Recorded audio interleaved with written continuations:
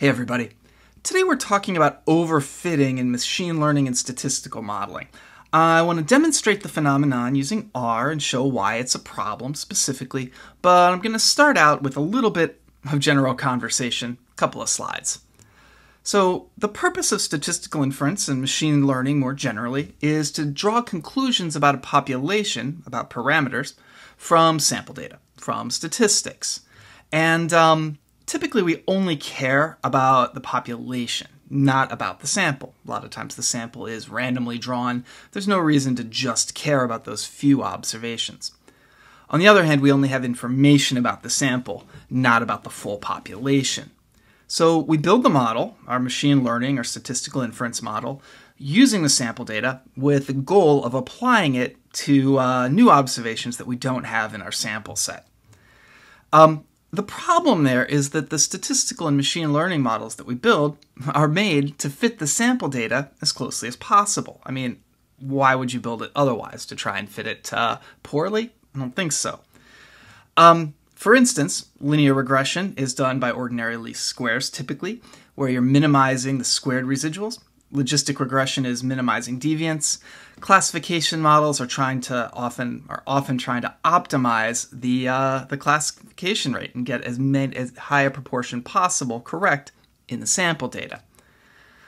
Unfortunately, models that perform really really well on the data that they're used that are used to train them often do worse when they're predicting results for new data, and that's called overfitting.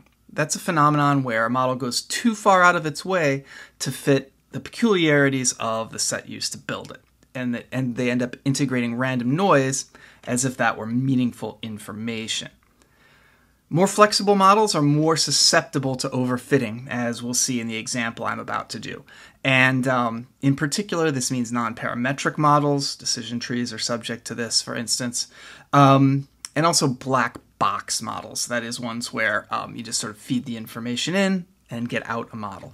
And um, if not done carefully, that can lead to overfitting in a lot of cases where you are reflecting peculiarities in your sample data, not actual trends in the population that you're actually trying to get information about. Okay, so let's go back to R and actually see this in practice.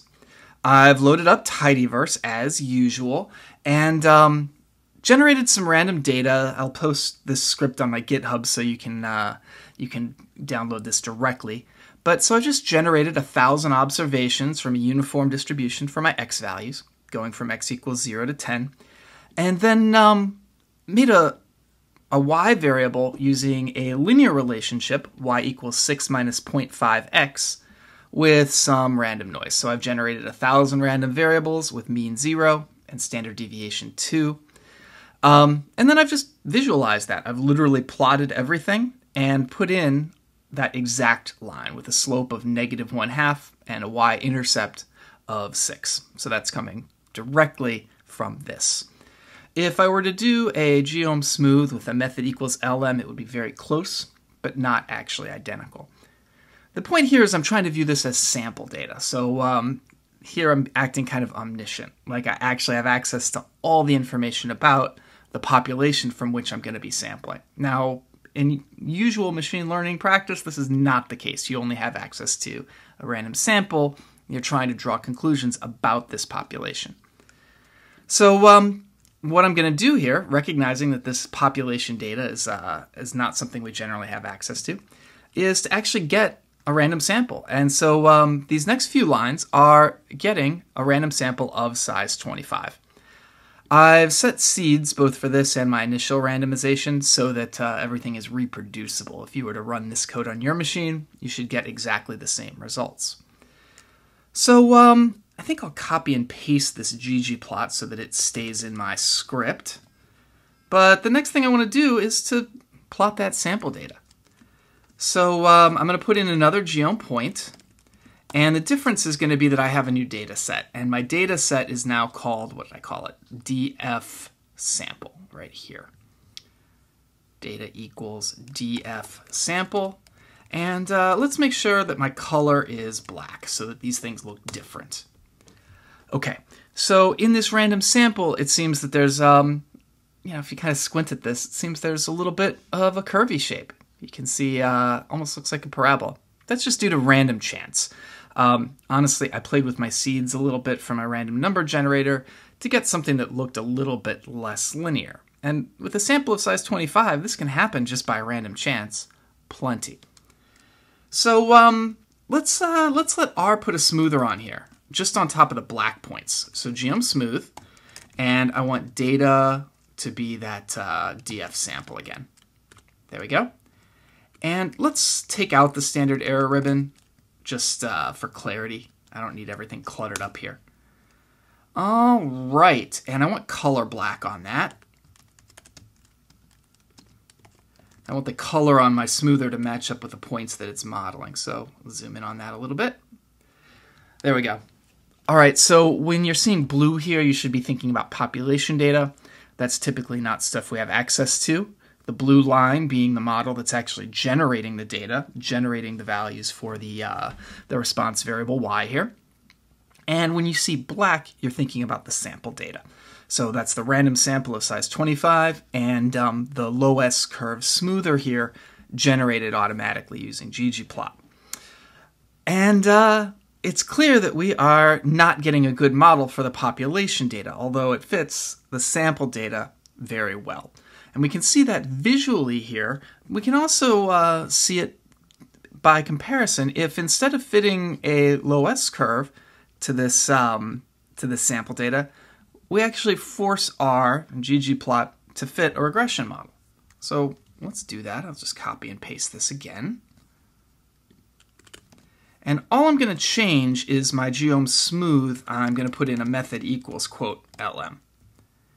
And uh, what we'll see when we run this is that the regression line that's put on top of this, the smoother that's put on top of the sample data, is actually a lot closer to the population trend line here. The black line is now much closer to the blue line because we've used a less flexible model here, we've actually gotten a better fit for the population data, even though it is a worse fit for the data that was used to train the model.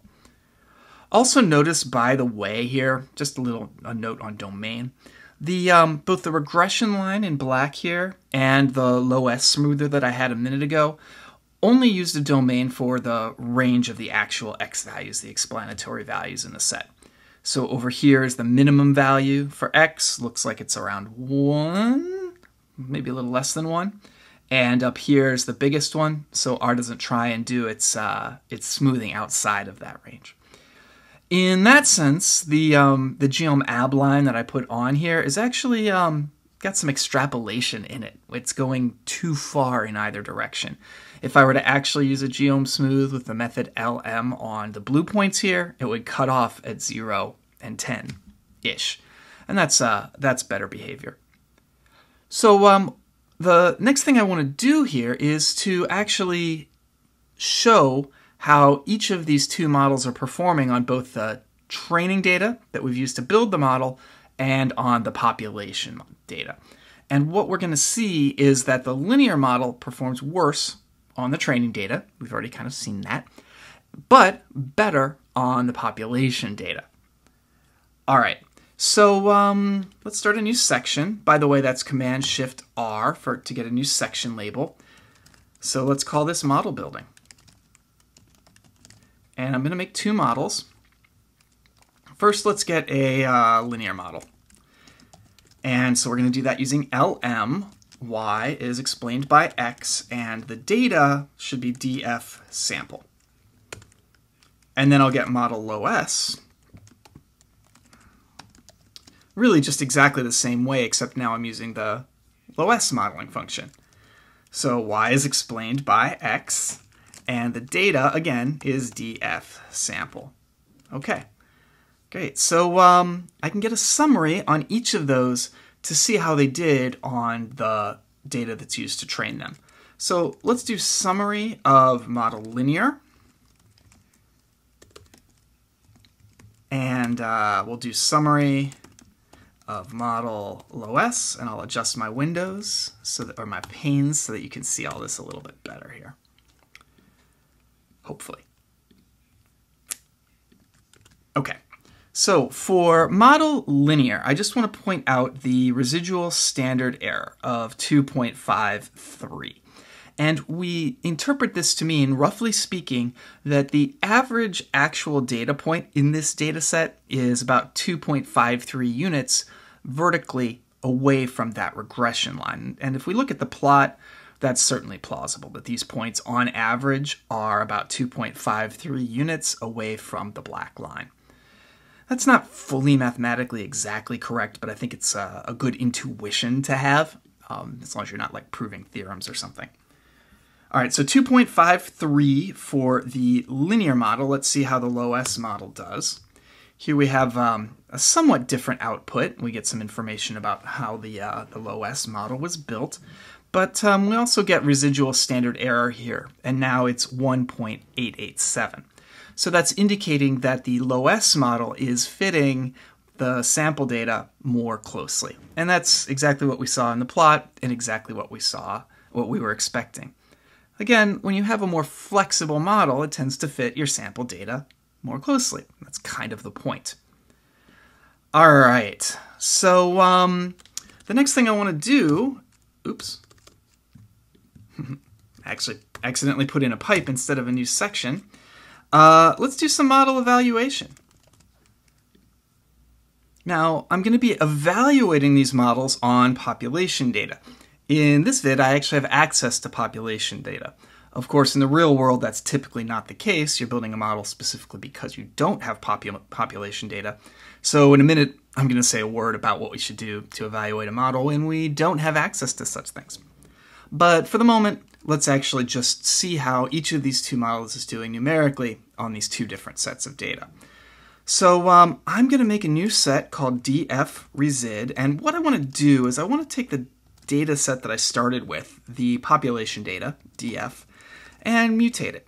And I want to put in two new columns. I want to have some linear residuals, and I'm going to get some loess residuals. So for every observation in my data set, how far above or below that regression line or loess curve is it? So starting with the linear resid, I want to predict using the model linear.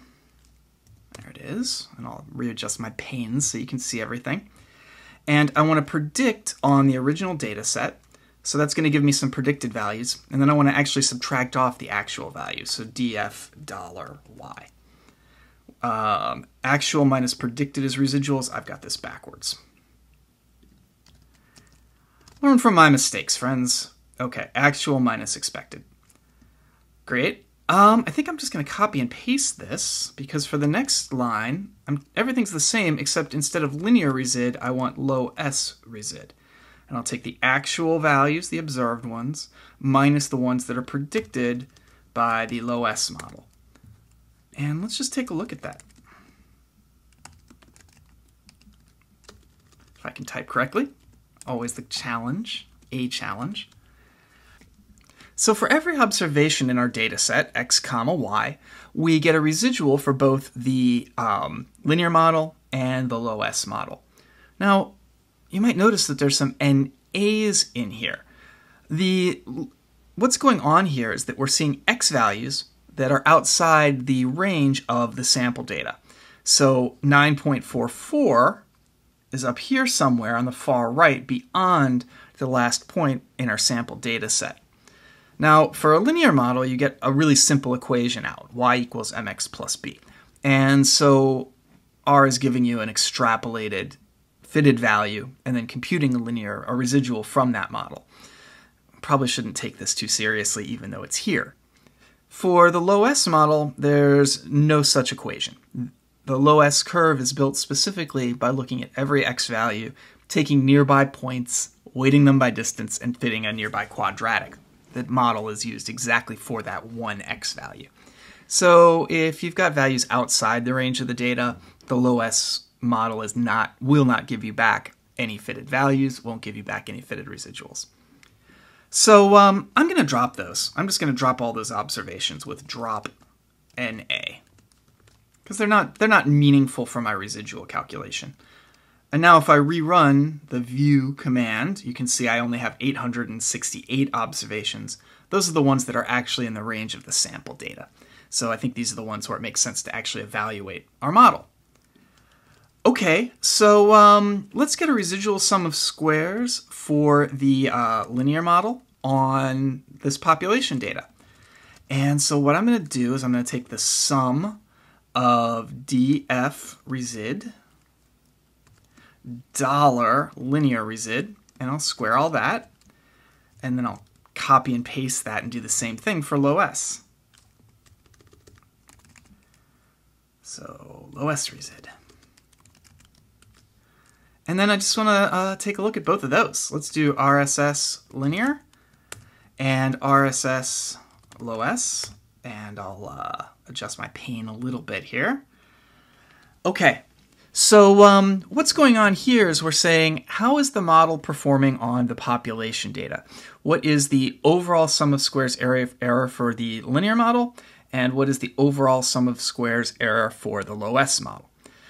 And in this case, looking at the population data, you can see that the residual sum of squares error for the linear model is not just lower, but much lower. So even though, if you just look at the sample data here, the loess curve is a much better fit. Fits the sample data much, much better when we take into account the possibility of sampling variability. We're getting some overfitting from that loess curve. So the linear model is actually performing better even though it fits the sample data worse. In fact, I could say that a little differently. It's performing better because it's not trying to fit the sample data so specifically. Okay, so I said that um, here we had this unrealistic assumption of omniscience on our population data, all these blue dots. In the real world, you don't have all those blue dots. All you have is your sample. All you have is some black dots. So, just a couple words as we conclude about what to do in the real world. Since measuring a model's performance, regardless of what metric you're using, on the data that's used to train it is guaranteed to be unreliable, you need some other approach. And the most common and computationally efficient is to use a testing set. And all this means is that before you do any sort of model building, you take your data set, your, the sample data that you actually have, and split it into two pieces. A training set that you'll use to actually build the model, and a testing set that you'll use to evaluate the model. Typically, what happens is you end up building a couple of models through whatever techniques, and then using the testing set to make a final decision between those last couple of models.